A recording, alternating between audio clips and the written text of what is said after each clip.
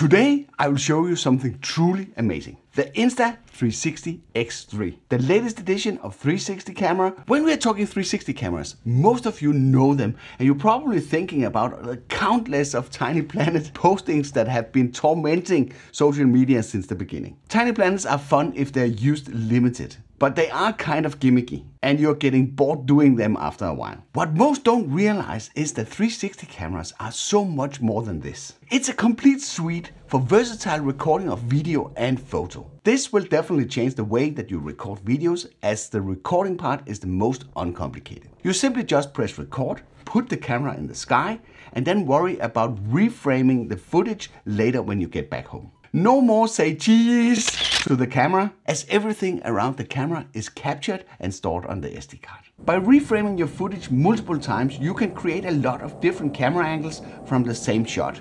How cool is that? This is done by two protruding lenses located on each side of the camera combined with the new upgraded half-inch sensor. The Insta360 X3 will then stitch automatically the footage from each camera to a full 360 video. One of the top selling features of this camera is the invisible stick. This makes it possible to create some angles that otherwise would be pretty impossible to do from a third person perspective. I got the extended selfie stick with my kit and I gotta say, I really love it. The thick handle and the relative light weight and the fact that it can be extended to 3 meters that offers some really great opportunities that would be pretty hard to do even with a drone. Just be careful not hitting anything with the camera when it's floating up there. 5.7K 360 video with active HDR. With the new upgraded half-inch sensor, it's possible to shoot 360 videos with active HDR that will help you capture all the details when doing action in vivid 5.7K 360 up to 30 frames per second. Just start shooting and then select your favorite camera angle afterward through the Insta360 app. 4K single lens mode. Insta360 X3 can do this now, where you can shoot wide angle footage just like a single lens action camera in up to 4K in the default field of view with in-camera stabilization.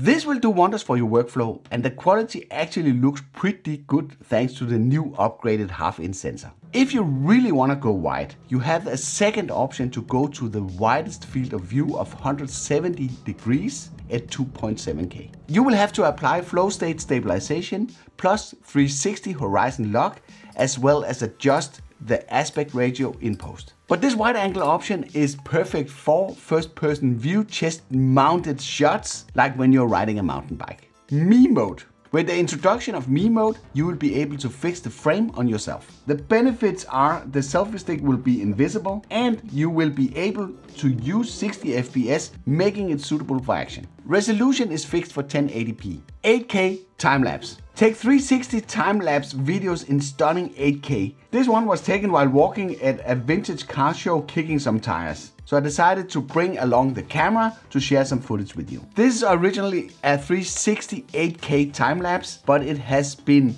adjusted to the aspect ratio of 69 for this video. Powerful editing suites. Your Insta360 X3 comes with access to a powerful suite of editing tools, where one of them is the AI-powered Insta360 app that works both on Android and iOS. Reframing and working with your 360 footage is really easy and intuitive with the app. You can export your footage in all the known aspect ratios that matches your favorite social platform. This is perfect for short videos and you can very easily create something cool for social media when you're on the go. More heavy duty tasks can be solved with the Insta360 Studio 2022 desktop app that is compatible with both Mac and PC.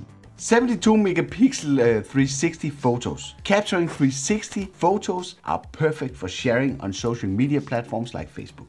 The resolution of the X3 has been bumped to a whopping 72 megapixel, which is supposed to be the most megapixel ever in a 360 camera. Let's take a closer look at the actual hardware. The camera is made in a ruggedized design that feels great in the hand. It comes with a neoprene sleeve that helps protect the protruding lenses. The sleeve has a hole for battery charging on the side. That makes it a very compact design that slides nicely into your pocket, offering full protection. Because of the protruding lenses, it's very, very important that you never lay down the camera without protection. Because minor scratches, fingerprints and even water droplets will result in a significant decrease in image quality. Pro tip, do not use lens guards and keep your lenses clean. Insta360 X3 comes with a 2.29 inch touchscreen with tempered glass. It features a newly designed menu that is well organized and the touch is responsive, making it easy to operate the camera even in bright sunlight. Battery life is fantastic. I've not tested how long it actually lasts. But going to a vintage car show where we spent the best part of three hours testing all the features on the camera, recording a total of 30 gigabyte of footage, I still had more than 50% power left when we were done. So I'm pretty happy with that result. The X3 is waterproof down to 33 feet or 10 meters. That is really nice so you don't need to worry about your camera being uh, damaged when it's getting wet or even submerged underwater. For seamless 360 stitching underwater, you would need to pick up a dive case which is sold separately. When mounting the SD card in the camera next to the battery, you will see the water seals. Make sure that no red markings are shown as this is an indication that the door is not sealed. Goes without saying, if it's not sealed, you will damage the camera. Audio has always been a weakness of 360 cameras. But with four microphones strategically placed, it seems like an improvement and can definitely be used if the camera is in close proximity. It's very nice there's an option to enable or disable wind reduction. There is also a speaker that will enable playback. Placing a camera at the end of a stick far away from you on a moving car and expecting good audio is kind of naive. But there's a way around that by getting the external audio dongle that will allow you to hook up an external microphone through a 3.5mm jack. Apart from the power button, there are a few other buttons on the camera where you can start and stop recordings, switch between custom settings, etc. The record button can furthermore be configured as a quick shot button that will allow you to get started recording right away without having to power on the camera through the power button. There's also a button that will easily allow you to switch between the two single lenses as well as 360 mode. As well as a power LED that will let you know the current status of the camera. The Insta360 X3 is charged through the USB-C port on the side. That will also allow you to hook up the camera directly to a computer for live streaming as a webcam. The camera can be attached to a tripod through the quarter inch thread located in the bottom of the device. So what do I think about it? I really like it so far and I'll be using this camera more as part of my workflow when I'm vlogging on the road. If you like what you have seen in this video and want one for yourself, I've included a link where you can purchase it in the description below. I do want to say this camera is not for professionals as it has some limitations under challenging light conditions. And that is okay because it's a consumer grade camera.